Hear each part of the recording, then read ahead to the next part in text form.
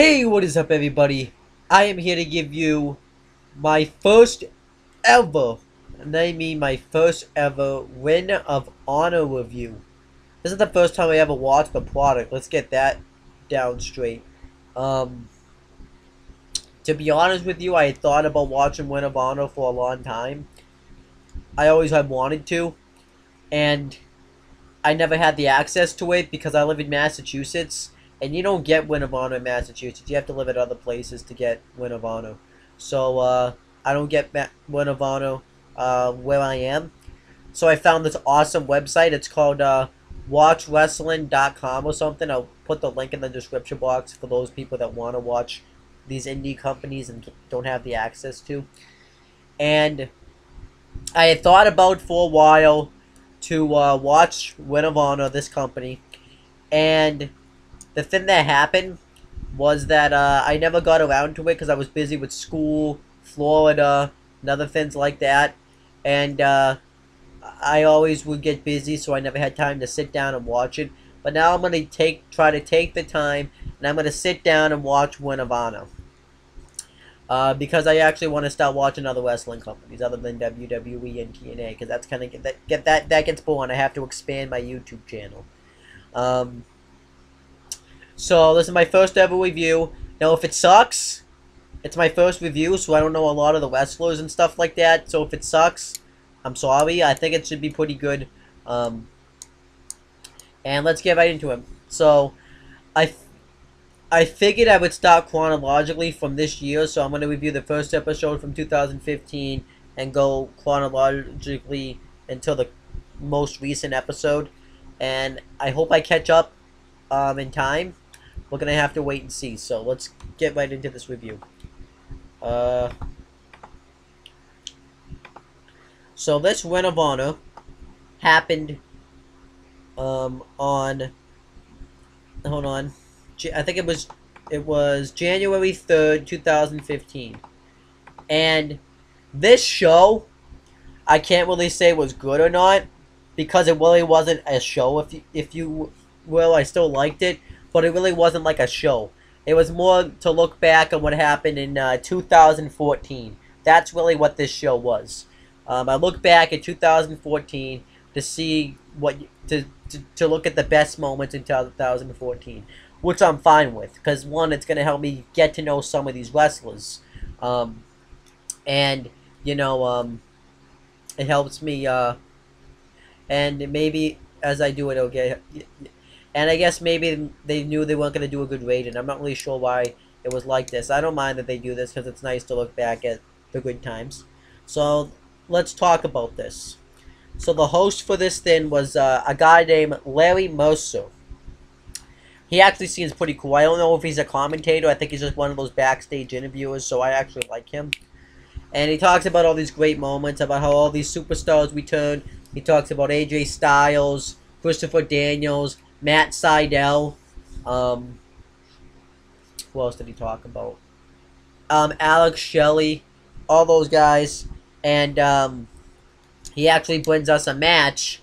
It was between um, Roderick Strong. It was Roderick Strong versus AJ Styles, and this match happened in Nashville, Tennessee, on January fourth, two thousand fourteen. Um, and the weirdest thing is, is I actually haven't seen AJ Styles wrestle a match.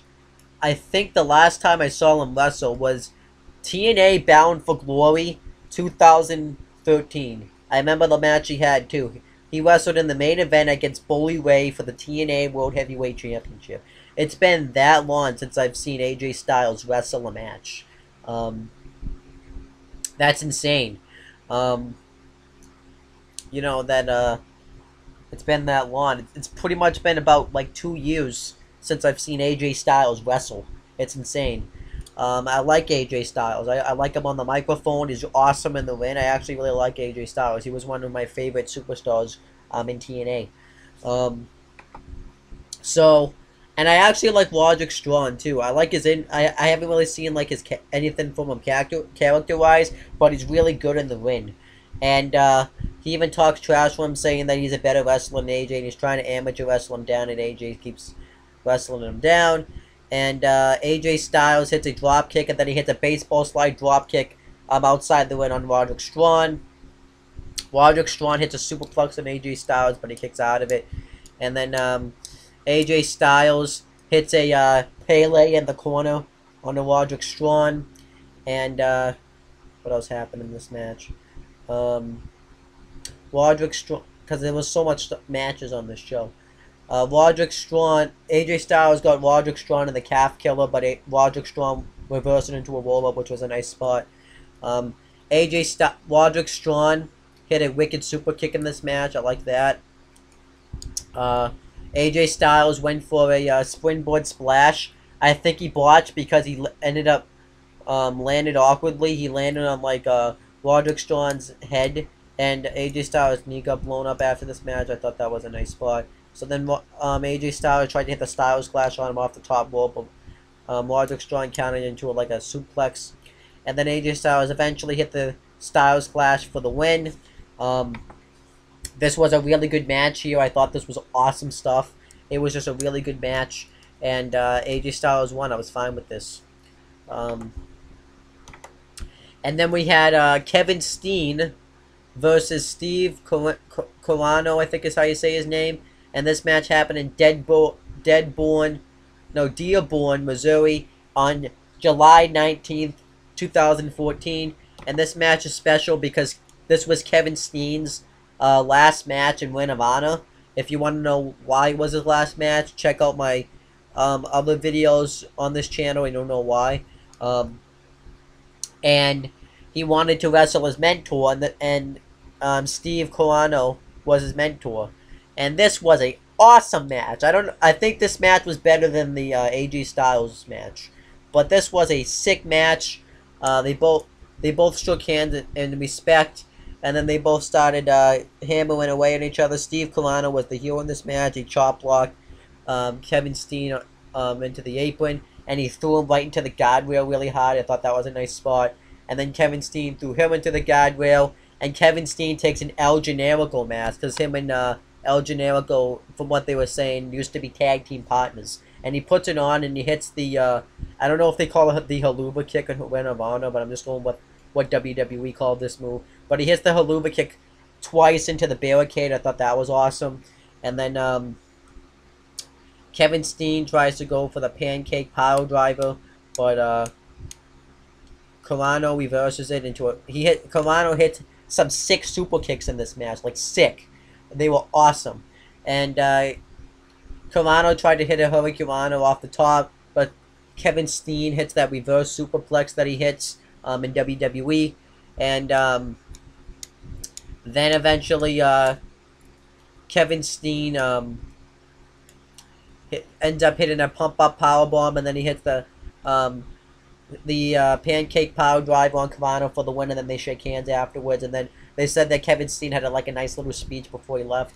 But this was an awesome match as well. This match was really good, and you could just feel the chemistry in the ring between these two because the, of how, since they were like mentors and stuff. Even though like I didn't know about it, you could still feel the chemistry between these two. So I thought this was an awesome match here too. And then they tell us about some stuff that's actually happened. They tell us about um, Jay Lethal winning the Ring of Honor TV title he turned heel. He beat up this guy, and he joined this this other guy that's a that's a heel. I don't know if he's a manager or not. It's not really good explanation, but that that's all I can really give you. And then it shows a match between um, Matt Elgin and Adam Cole for the Ring of Honor title. And uh, Adam Cole, I've heard some good things about Adam Cole, so I, I'm just gonna go with what he what I said. Matt Elgin's pretty good.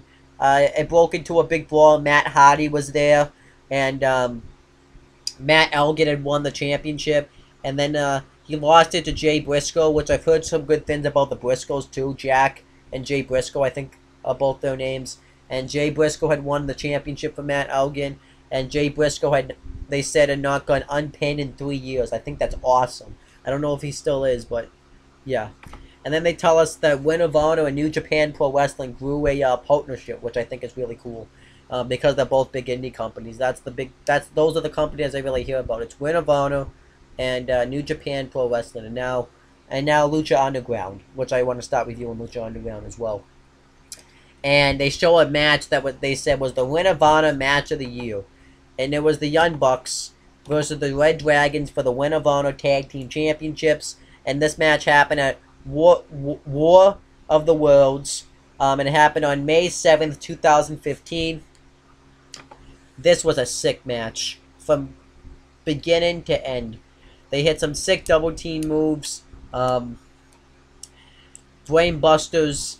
They did this sick spot where uh, one of the Red Dragons charged one of the Young Bucks into the barricade, and then uh, one of the Young Bucks speared, um, speared um, one of the Red Dragons, and one of the Red Dragons tried to go off the top rope um, to do something, and then the that Young Buck that speared. Once I learn the names, it's gonna get a lot easier. By the way, what that, that spear the Red Dragon member hit a wicked super kick right on that Red Dragon member, um, and they just hit some sick moves in this match. They hit a spot where uh, they uh, were trying to do where uh, they made the Red Dragons.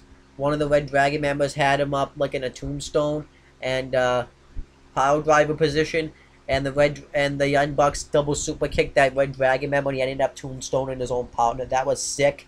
And one of the Red Dragons went off the apron and hit a drop kick into the uh, guardrail. I thought that was cool. And um, one of the uh, Young Bucks, they hit, they kept hitting like this power bomb into the corner into Goey spot. That was cool, and uh, they did that.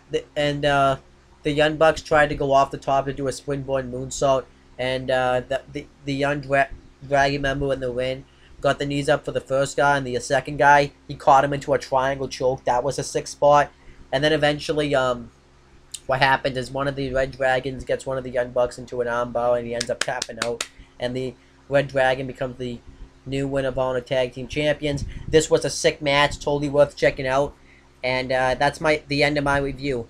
Like I said, this review probably sucked because I don't know any of the wrestlers. But as uh, probably as I get to know more about Ring of Honor and I get no, to know more about the wrestlers, these reviews will get better.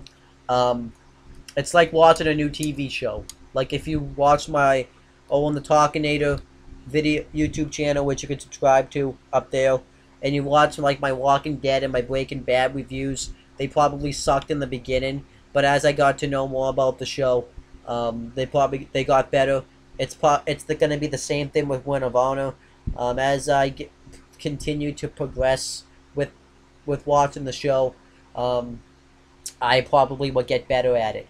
But other than that, that's pretty much it for my Ring of Honor review. You can click down below to subscribe to my CM Brothers channel where I talk about both wrestling and non-wrestling things. You can check my friend James the he my friend James the He-Man Hebert has two YouTube channels. One is over here. It's called uh, James Hebert, and he makes custom Titantron to wrestlers. And then another one is uh, over here, and he makes uh, and it's called Wayne Youth Wrestling. He's going to be holding a tournament, a 32-man tournament for the WYW Championship and I'm one of the mem- the guys in that tournament, and I am going to win that WYW championship. And then you can click down below to subscribe to me and the SummerSlam review series. You can click right up here to watch it. I uh, started doing that, and uh, you aren't going to see 2013 because it's down here. That's pretty much it, guys. Talk to you later.